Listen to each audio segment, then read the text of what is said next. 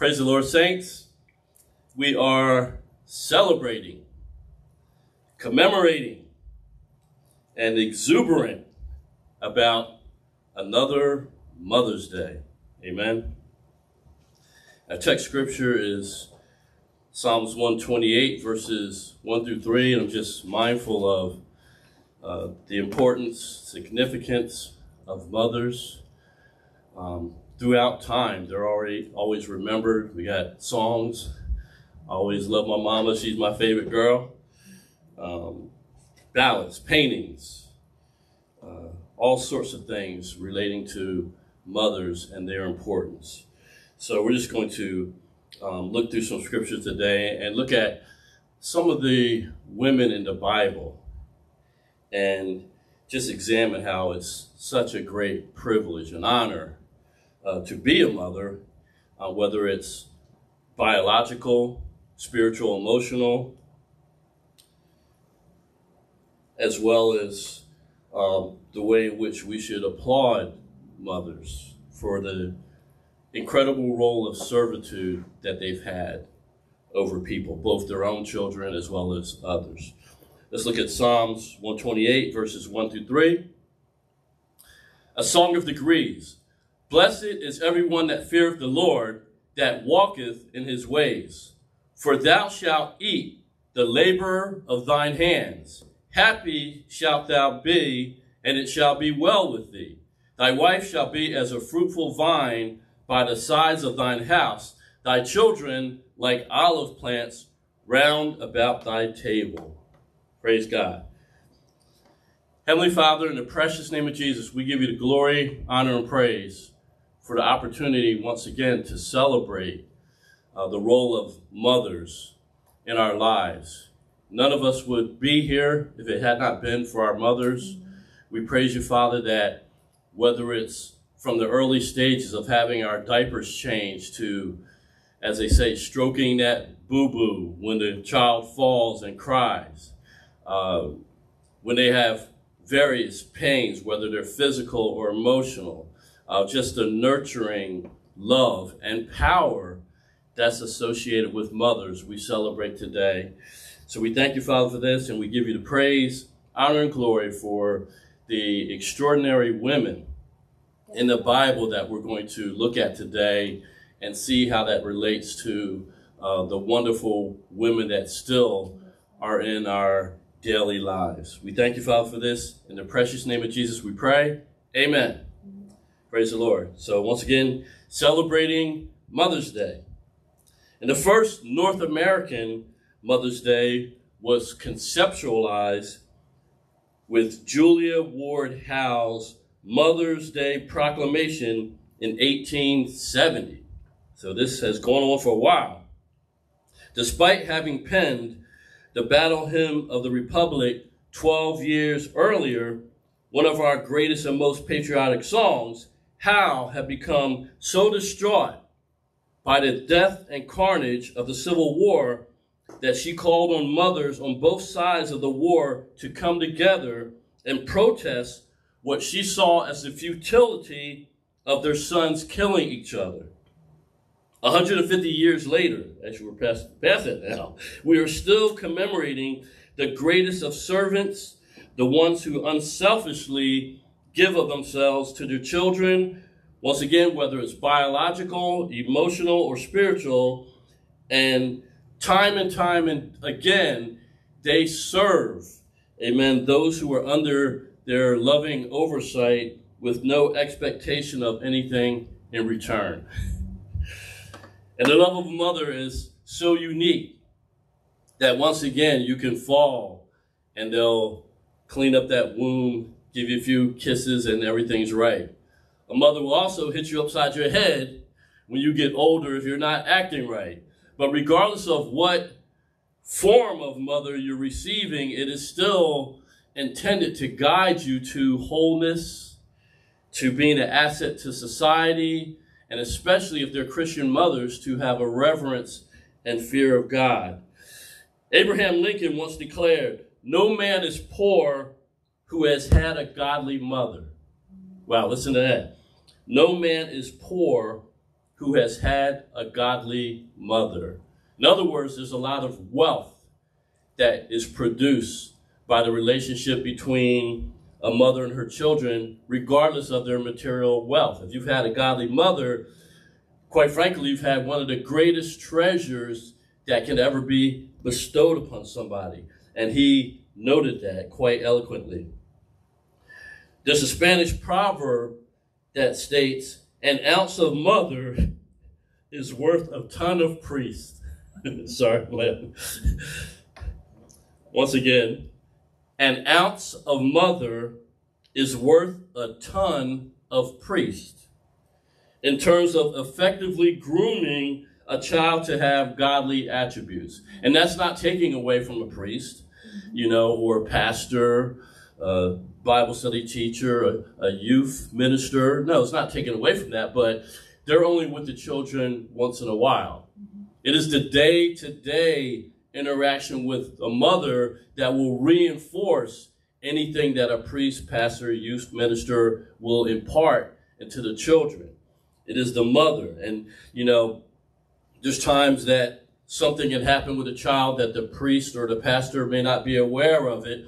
And there's times where the child could be at a distance away from the mother, but mother in the spirit, just like Paul sensed or prayed and received revelation about things regarding the churches that he founded. And he would send letters sometimes to discipline them. You might be able to hide from most men and women. You might be able to hide from you know, organizations and uh, different governmental bodies, but you cannot hide from the all-seeing eye of God and sometimes the super-seeing eye of the mother. and that's why you get that call. All right, what you up to? Mm-hmm. What are you doing? What's going on? That looks right, but I know something ain't right. That's that. we are in the likeness of God, who is all seeing. So mothers on a smaller scale get a mini all-seeing eye. They can see some stuff behind the scenes that's not evident on, on the surface. Oh boy. So it is a privilege, a great privilege for women to bear, adopt, or serve in a motherhood role. And today we celebrate that, uh, especially as people are going more and more away from God. You know, godly mothers, women who are armed and equipped with the word of God, who have perfected the principles of God in themselves and now are, you know, serving as beacons of light and love into the lives of other people. Uh, they are so priceless today. So before we look at some examples of motherhood, let's just, just examine a couple verses illustrating their importance. Amen.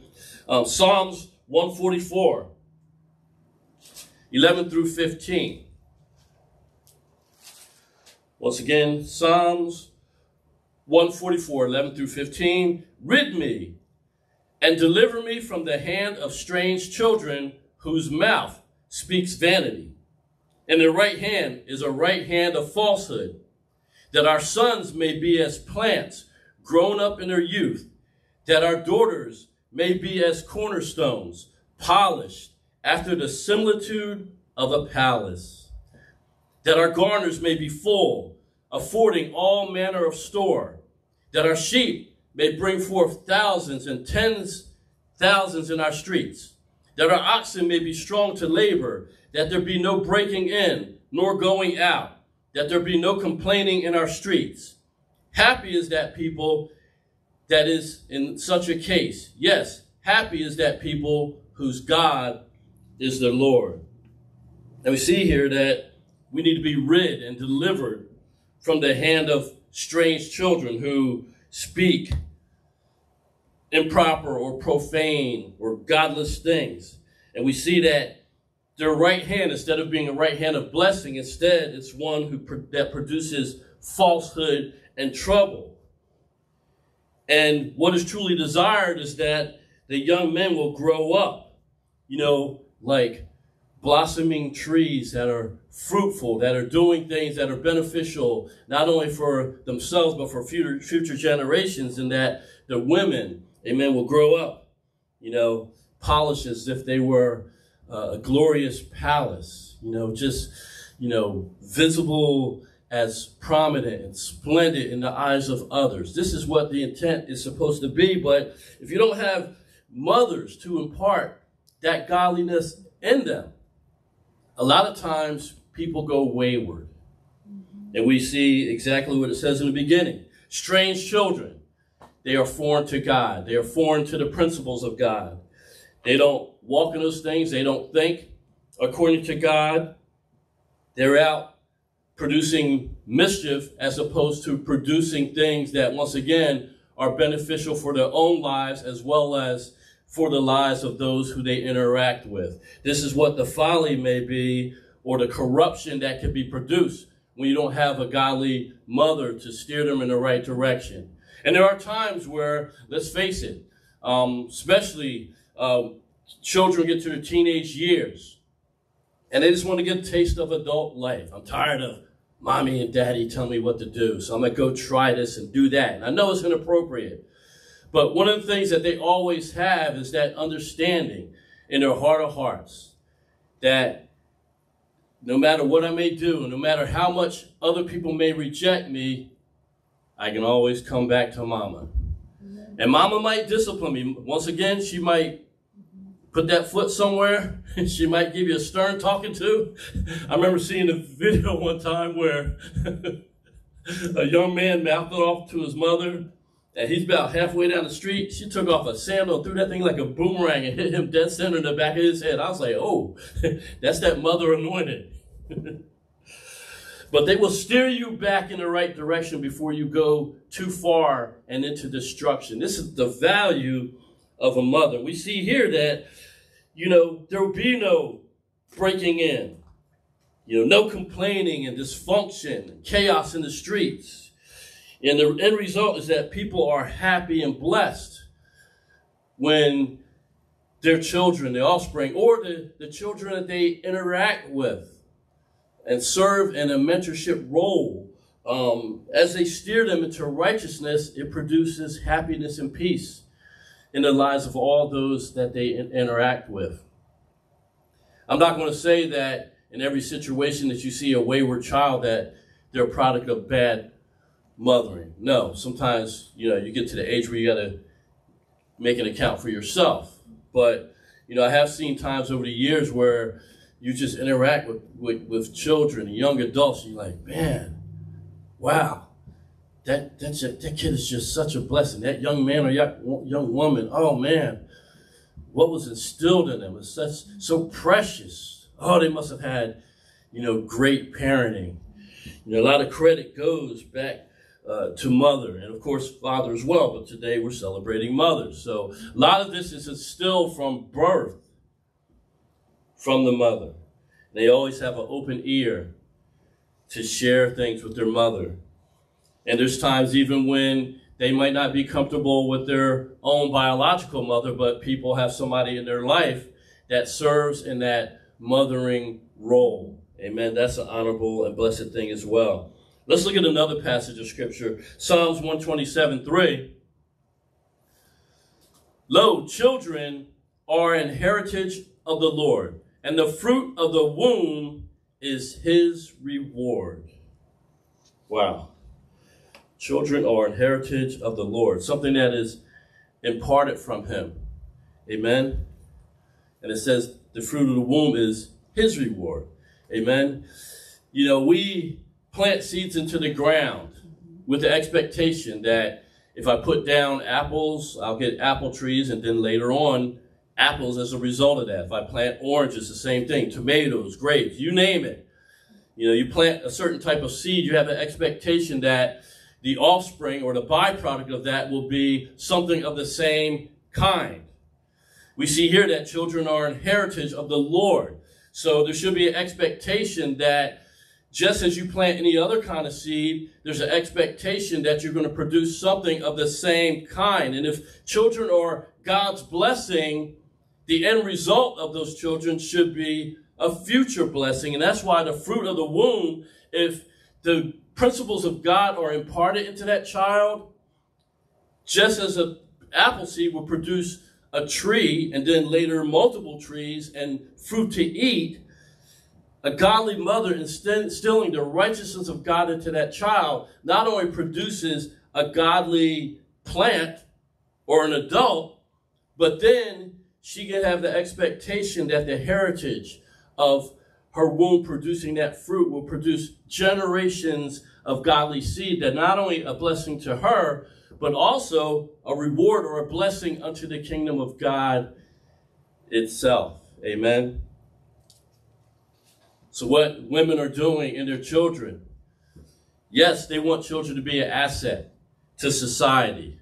They want children to honor them in their old age and to produce blessed grandchildren that are loving and kind and have character. But they should also realize that as they're imparting that into their children to see the end result of the blessings and love of they've put into those children coming back to them, that they're also putting that harvest out there for God as well. And it's a reward, it's a blessing unto his kingdom. Amen. So God is, in a sense, getting return on his investment of entrusting the woman to be able to mother those children. All right, let's look at some mothers. As I said, it's a selfless life often, sacrificial.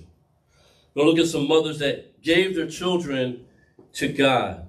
Amen. Praise the Lord. Exodus chapter 2, verses 1, and, 1 through 10.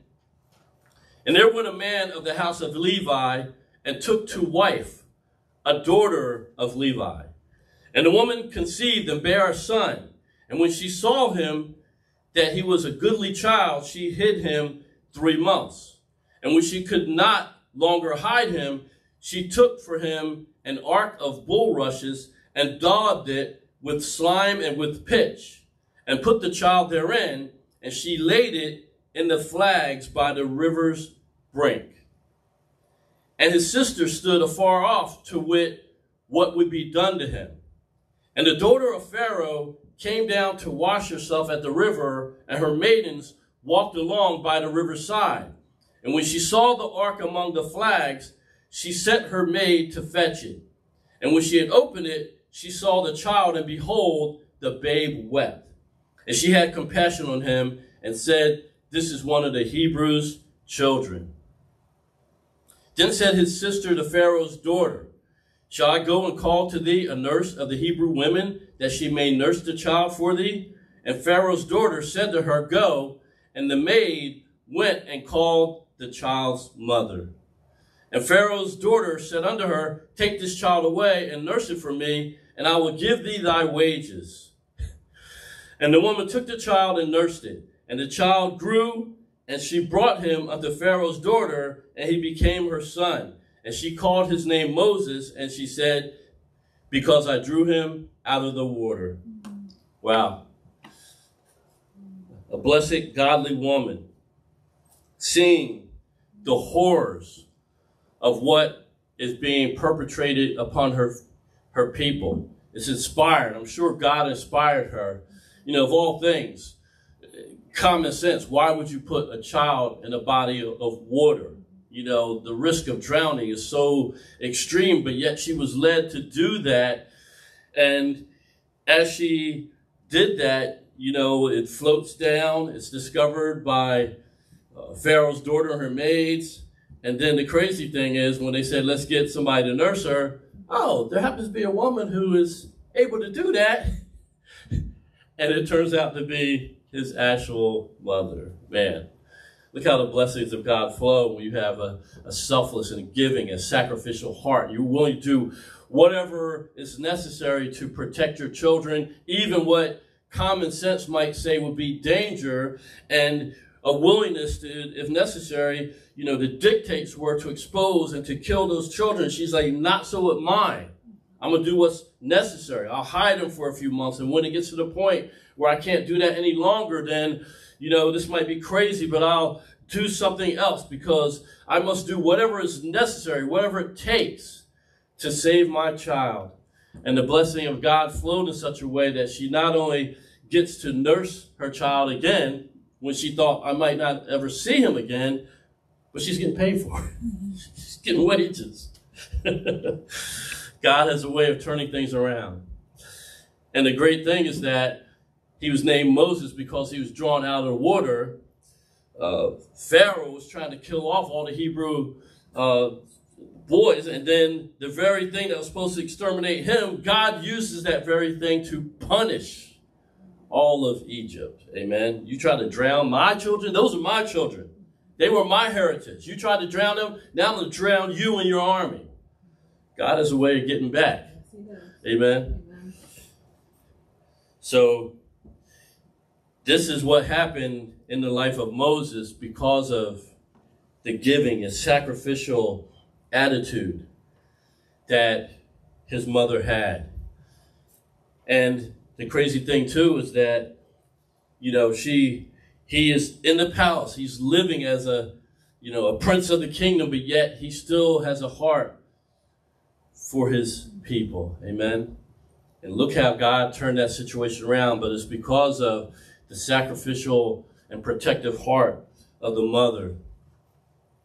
We definitely need that type of mindset in this day and age, and we appreciate and thankful for the mothers who are willing to make sacrifices to do whatever it takes at all costs to ensure the safety of their children. And sometimes, as it relates to society or nature or whatever you know principles surround a situation. It might seem crazy to do something um, that is necessary to save your life, but if God is leading you, you need to abide by what God is saying. You know, once again, she puts him out into a body of water, but God, amen, steps in and ensures the safety of that child based upon her sacrificial attitude and the attitude that she had to save her child at all costs. And God, you know, sometimes, you know, children this day and age might, you know, sometimes venture out to a situation that might be dangerous, or they might be surrounded by circumstances, whether it's governmental or environmental, whatever it may be, that because of the heart of a godly woman, God will intervene and protect them from all sorts of danger. But that initial aspect, having a godly heart as a mother, is one of the key things to ensure this. Let's go up and look at another godly woman. Uh, 1 Samuel 1 9 through 11.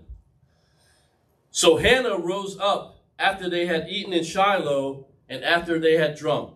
Now Eli the priest sat upon a seat by a post of the temple of the Lord. And she was in bitterness of soul and prayed unto the Lord and wept sore. And she vowed a vow and said, O Lord of hosts, if thou wilt indeed look on the affliction of thine handmaid and remember me, and not forget thine handmaid, but will give unto thine handmaid a man child, then I will give him unto the Lord all the days of his life, and there shall no razor come upon his head. Here we had Hannah, a woman who wanted a child. And even speaking to her husband, he said, Am I not worth more than a bunch of sons? You know, I bless you, I do this, I do that. But one good thing about that is that he saw, you know, the desire in his wife and said that he had vowed a vow. And he later on honored this. Um, and then she vowed a vow as well. Amen. And said, if you will give me this child, I know I'm barren, but Lord, to me this is an affliction. If you will bless me and give me a son, then I will dedicate him unto you all the days of his life. And that's exactly what she did. She honored her vow. God blessed her, and he became one of the greatest of prophets. Amen. The prophet Samuel a man who spoke to kings, anointed kings, you know, one of the greatest men of God that's recorded in the Bible. But this was in uh, a response to a woman who desperately wanted a child, but said, I don't want this child just for myself and my family. No, if you give me this man child, I will then return him unto you and will dedicate him to your service all the days of his life. So God honored her. Amen. And she honored God by doing what she had promised.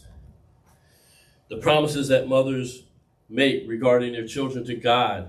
You know, we see, we see she vowed a vow and she honored that vow. And because of that, God blessed her with the desires of her heart. It's so crucial that mothers, as they are, you know, presenting their children before the Lord or having children that, you know, they have that mindset that, Lord, I know you've blessed me with this child, but I dedicate this child unto you, to your servants. You do with them whatever you will. You know, as much as I might want for them to do this or have that career or go to this school or play this sport or whatever it may be, no matter what I desire, Lord, your desires are above mine. So uh, I just dedicate this child unto you and your leadership that they can become whatever you envision. And because she had that type of heart, amen, God honored her request. And once again, the byproduct was one of the greatest prophets, amen, that the world has ever seen. Praise the Lord. All right, let's go over to another one. Ooh, boy, is this mother important. Luke 1, 26 through 38.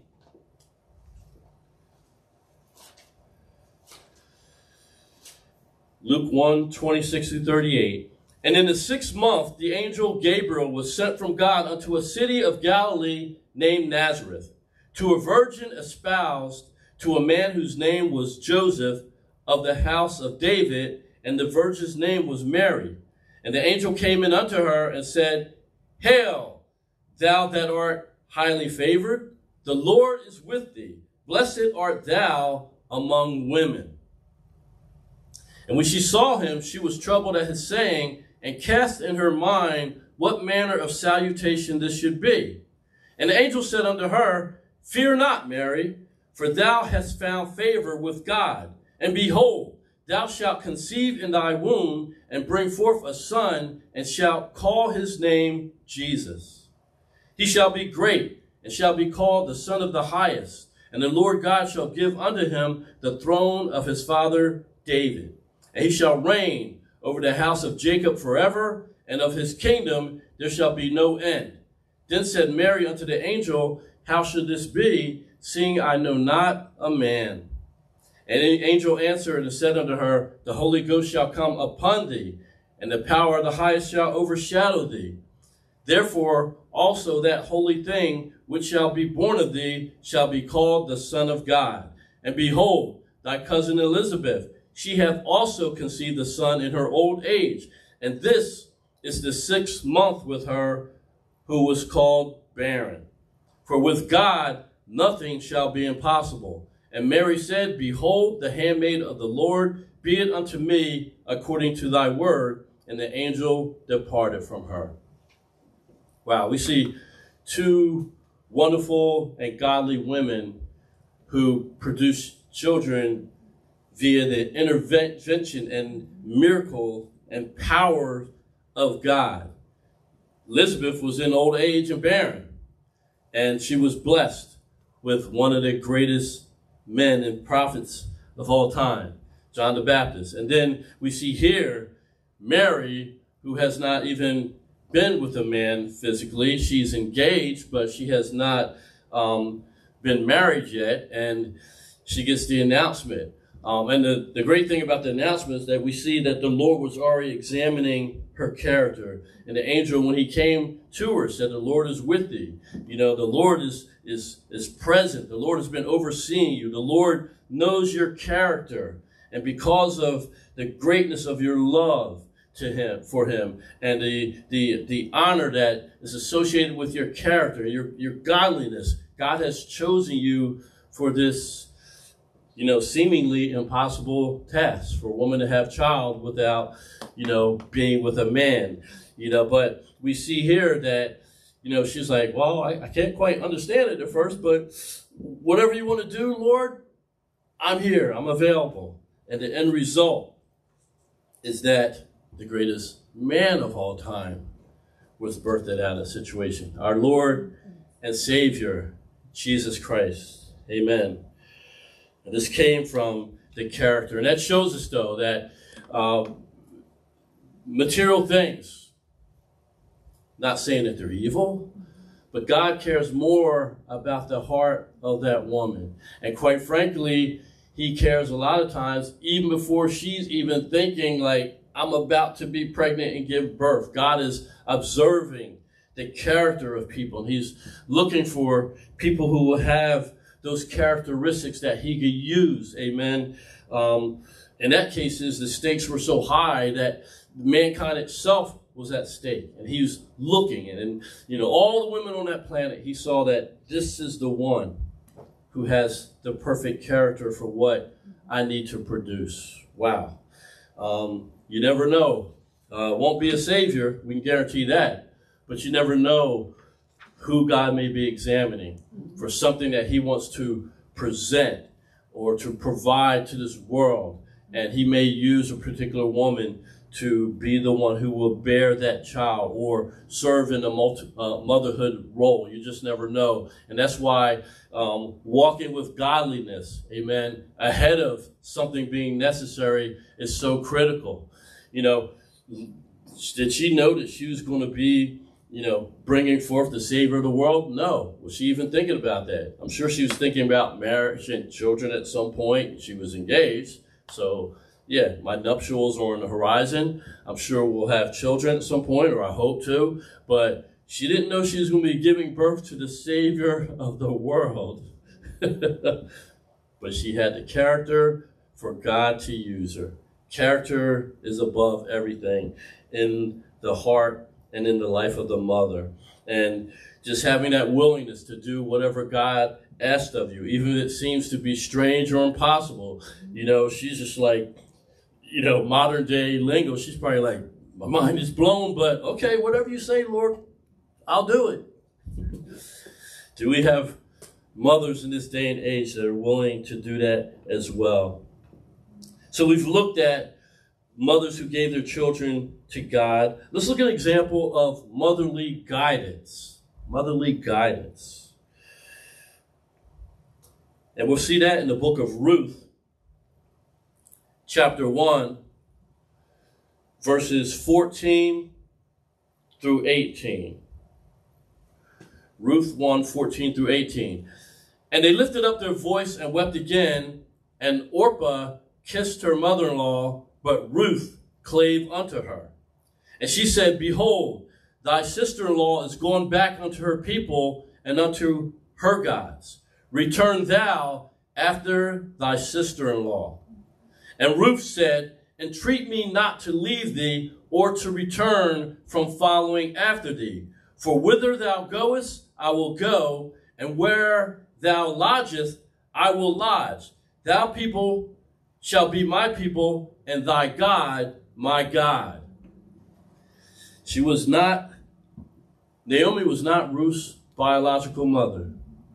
Boy, was she her spiritual and emotional mother. I mean, you know, she's basically saying, hey, it's a time for us to separate. I'm going back to my people, return to your people. And, you know, quite frankly, uh, you may want to, you know, get remarried and, and have sons. So I have nothing else to offer you. So I love the two of you.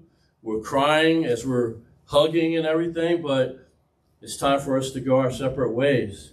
And Orpah, you know, wept, hugged, and went her separate way back to her people. But Ruth was like, I ain't going nowhere.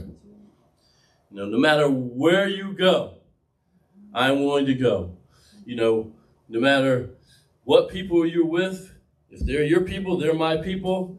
And as it, as it relates to worship, you know, your God will be my God. You know, I see so much in you. You've, you've instilled and nurtured me so well that I cannot separate myself from you. So I want to remain under, you know, the shadow of your wings the rest of my life. And, you know, whatever it takes, you know, I am willing to do that. You know, I just refuse based upon the things that you've done in me and how you supported me and loved and nurtured me. I am not going to separate myself from you. She even said, I, I plead with you, do not force me to leave you. I'm going to follow you wherever you go. So just look at the motherly guidance and oversight and nurturing that she instilled um, in Ruth. And we know as we read further on that Ruth was blessed. Amen. But um, it was the relationship that was instilled in her. It was the things that she saw that she said that, hey, you know, I, I'm not going to separate myself from you and never lay eyes on you again. You're too important to me. And the things that you have to offer, I still treasure them, but I want them to continue.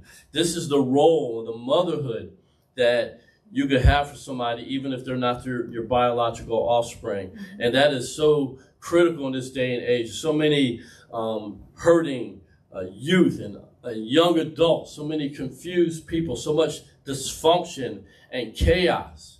Um, so many people that could be mothered who are motherless. And once again, we need to get beyond the biological. If God has placed you in a situation where you can serve in that role, it is just as important and significant as coming out of that woman's womb and being raised from, you know, a baby all the way up to adulthood. If you have the type of situation where you can impart the love of God and that mothering nature into the life of somebody else who needs that.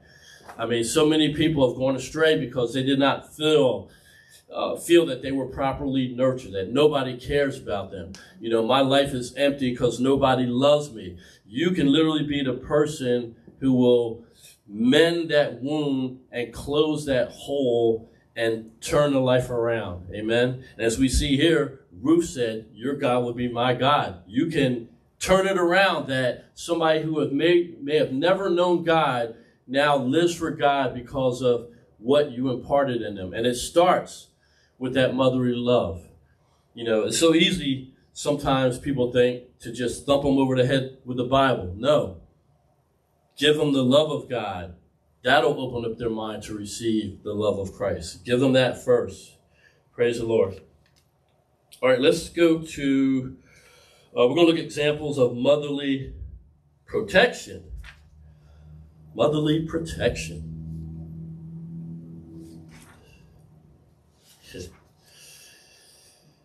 And this one's definitely tremendous. First Kings 3.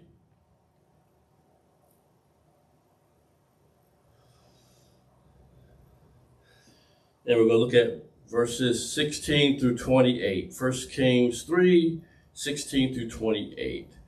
There came there two women that were harlots unto the king and stood before him.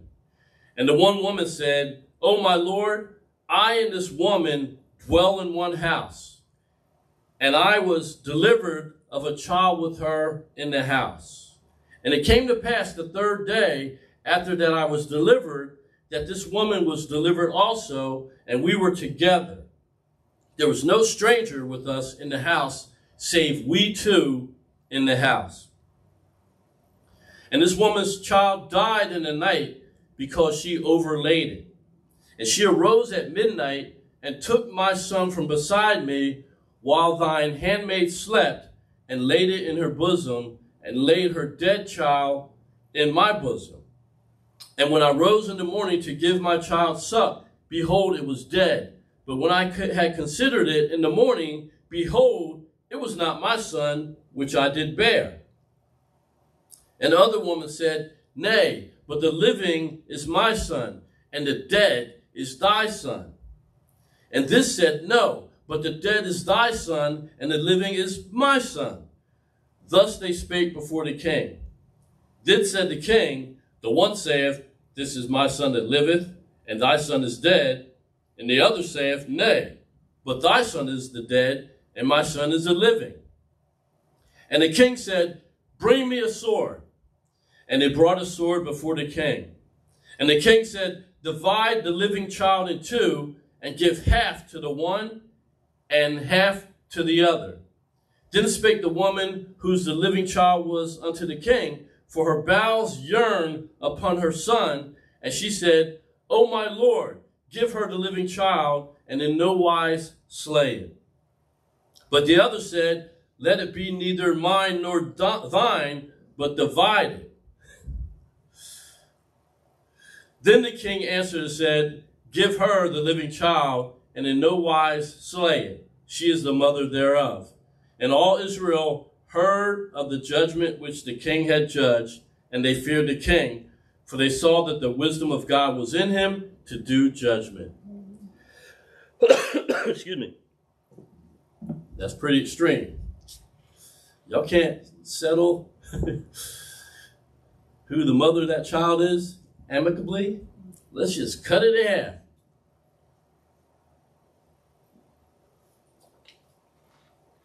Doesn't really say much about the, the one woman. Yeah, yeah, split in two.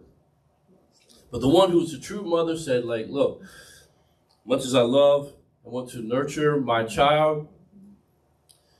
If the end result of your decision is to cut the child in half and give each one of us half of a dead child, go ahead and let her have the child. I love my child too much to allow it to die. Of course, this is something that he had no intention of doing. Um, but uh, the wisdom of God in him enabled him to present a scenario that would expose who the true mother was versus the one who was lying. And as we see here, um, it happened, it played out exactly as he envisioned, and he was able to gain the insight into who the true mother was even even though he didn't know either one of them. So um, that was a blessing. But one of the things that really is critical in all this is that mothers will protect their children, just like we saw um, in the life of Moses. They will protect their child um, to the uttermost, no matter what the cost. And in this situation, as much as she loved that child, and didn't want to lose it. She's like, I'd rather lose my child and have him raised up by somebody else than to see him perish. And um,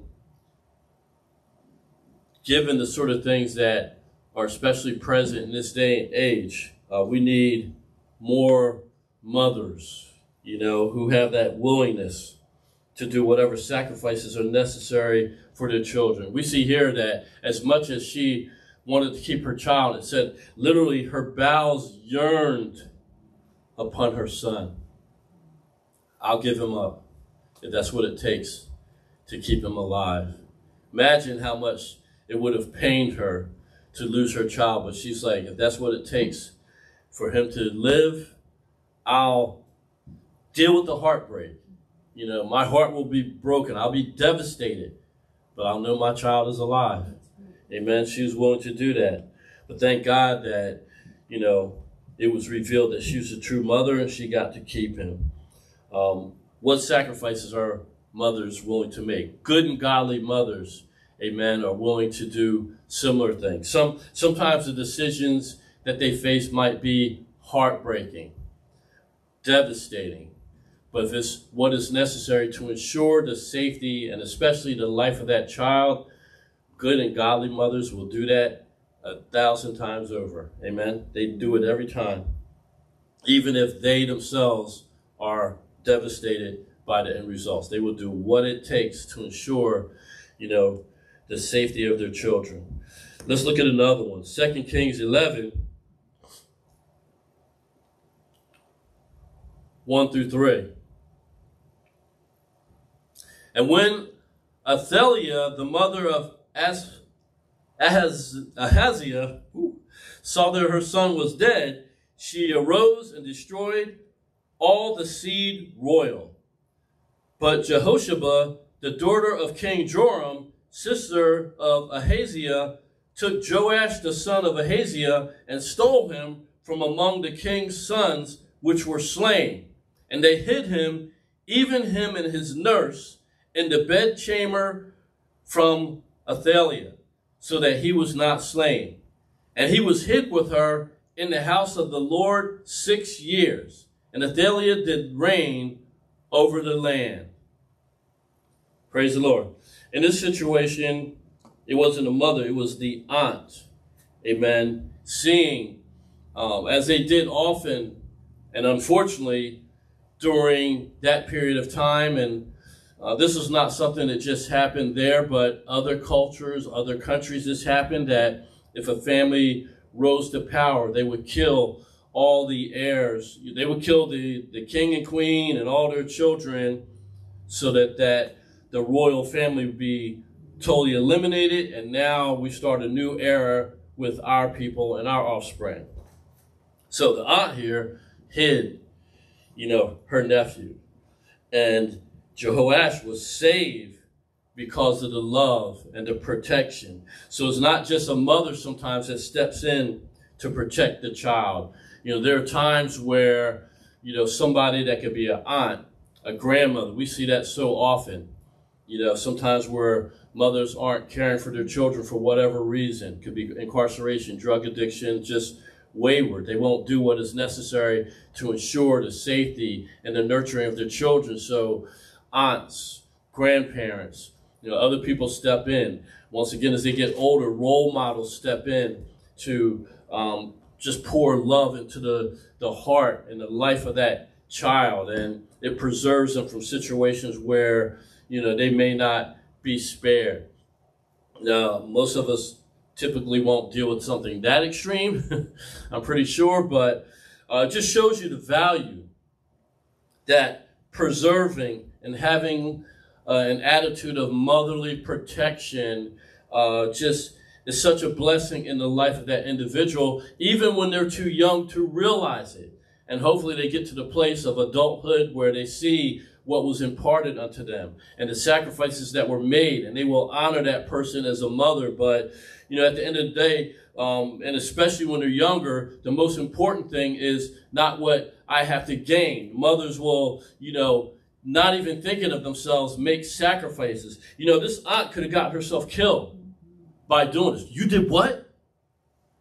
Bring him here and kill her with him. I mean, she risked her life. And, you know, yes, it was still biological, but the reality is she just had the heart of a mother for this young child. It's unjust.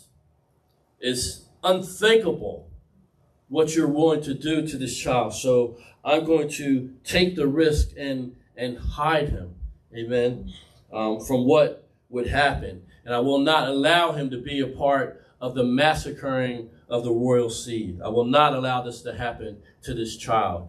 Uh, it just shows you just a loving and nurturing heart, and a heart that's willing to make sacrifices, and in this case, to take risks. She put her own life on the line because if this had been exposed, she would have been next in line to get killed. But she was willing to do it anyway because she had the heart, uh, the, the protective heart of a mother. Um, and that's so, uh, so blessed. Uh, once again, certain attributes that emanate from God are invaluable. They're, they're, they're priceless.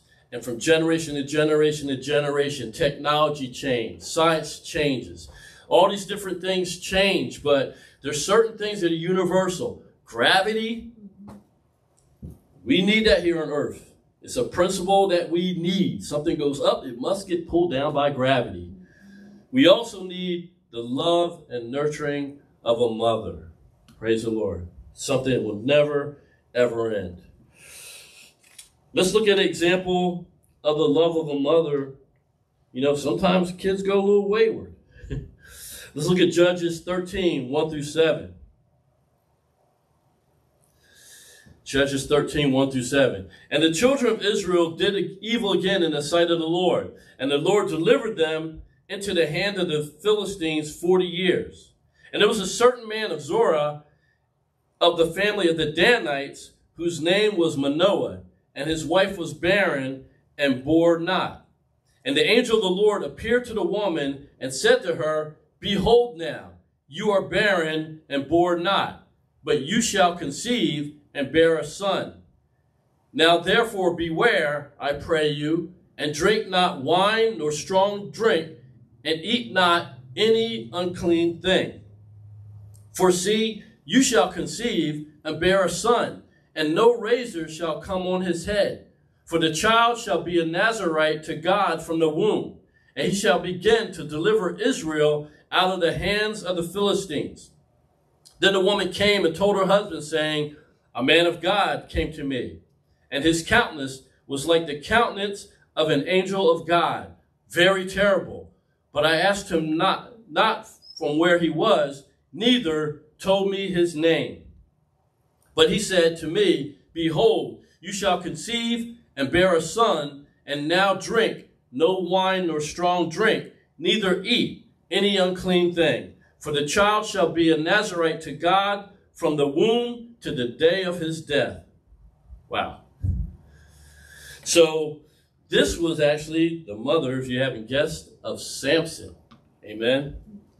And we see, I mean, there's times people take a Nazarite vow uh, once they're older. I've essentially taken one. No drink. So, um, but he actually was taking part of an oath to not have strong drink or any unclean thing eaten, even in the womb of his mother, who took on that oath because of what God told her to do. And um, she was told that, hey, you were barren, but you're going to have a very special son who's going to be a deliverer. You're going to take an oath now that you won't drink anything, any strong drink, or eat any unclean thing, and you'll never put a razor to his hair. So even from his earliest moments here in the world, his mother took on the oath that God wanted for his life. She made sure it was honored. She instilled that within him. And unfortunately, he went a little wayward and got himself in trouble, got blinded. But the end result was that even though he was wayward, he still had instilled in himself a love and a devotion to God. And one of the final things he did, he's like, Lord, let me destroy your enemies. And that's how he went out. so he went out in a blaze of glory serving God, um, even though he was wayward. And it just shows you that um, God will sometimes lead the mother to raise the child up a certain way. And even though it may seem like the child went off the beaten path, that child is sinning, that child is getting themselves into a mess, uh, they're, they're partaking of all these things that I never told them to do. He still had the principles of God embedded in his mind and, and his heart. And at his deepest, darkest moment, he basically saw it like, man, I've messed up. What did I do to myself? How have I dishonored my God? And God, I repent. I ask you to give me the strength to destroy the enemies of your kingdom with my final breath. And that's what he ended up doing. Mm-hmm. So the principles and the heart and devotion to God was in there. He may have gone astray, but what his mother put in him, amen, was with him in his final moments. And that's something that, you know, of course, no mother wants to see their children um, make mistakes. They definitely don't want to see their child die before they do um, or go down in a violent death.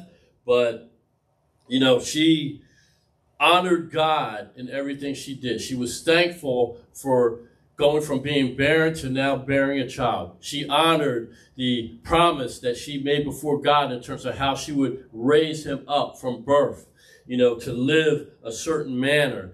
And even his final moments, he was a servant of God. I mean, that's the best of the best. You know, most mothers aren't going to have children that live an entire life perfect. But if they live the, the, the overall aspects of their life submitted to God and serving Him. And once again, if they're going to leave this earth, at least let their mind be upon God. That's one of the greatest things that a mother can instill in their child, even if they went wayward. He went wayward for a season, but he came back home spiritually before his life ended. And that was because of the sacrifices and the things that his mother imparted into him. And that's what we need mothers to do.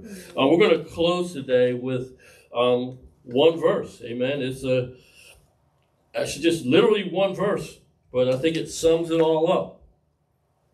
Proverbs 22 6. Excuse me. Proverbs 22 6.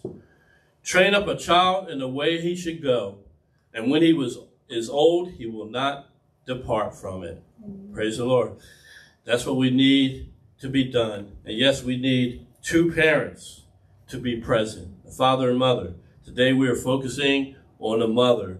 And one of the things that is a, a key role in mothers is training up children in the way that they should go.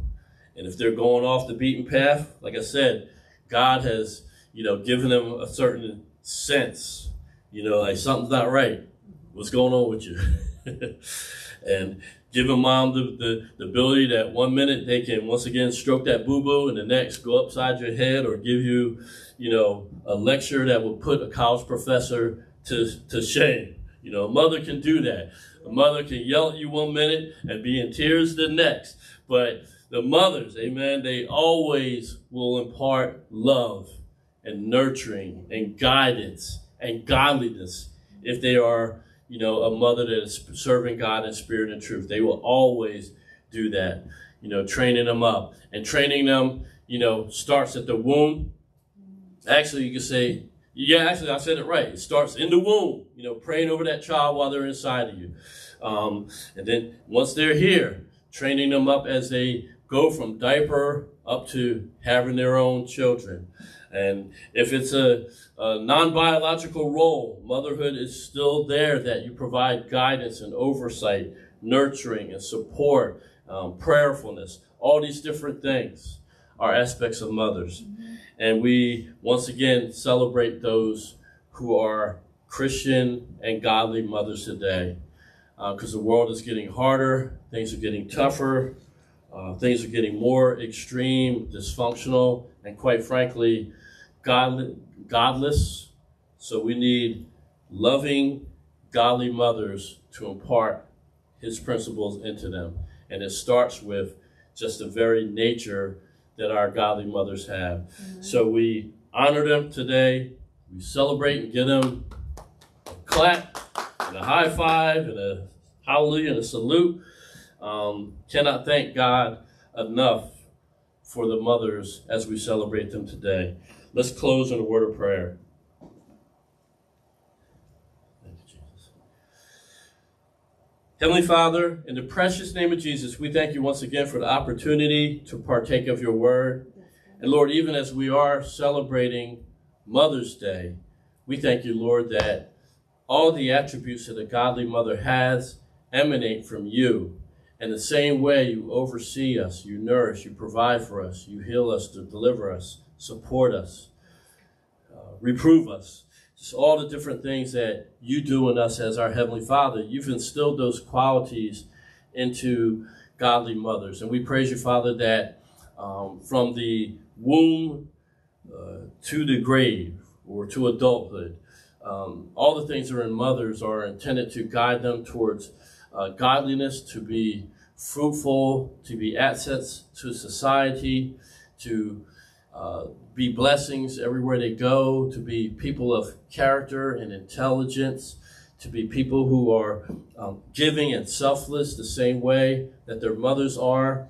We just thank you for all the qualities you've placed into them. And Lord, once again, whether it's biological, emotional, spiritual, all the different ways in which uh, people can be mothered. And once again, it could be a child or it could be an adult. There are so many adults who did not have um, a loving upbringing, but um, you could use godly women to be uh, mothers in their life. So we thank you, Father, for that. We do salute them today. We praise you for um, giving us a heart to honor them. We thank you, Lord, that you part your blessings, your peace, your healing, your nurturing, your prosperity, whatever they need uh, poured out unto them. And for those who may have lost children, we ask you to comfort them today. For those who uh, may have relationships that aren't um, the best right now, we ask you to heal and reconcile them.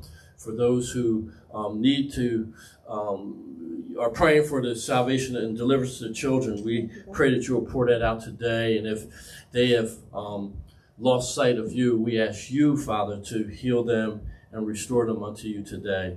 We thank you, Father, for this, and we just give you the praise, the honor, and the glory for these things. In the precious name of Jesus, we pray. Amen.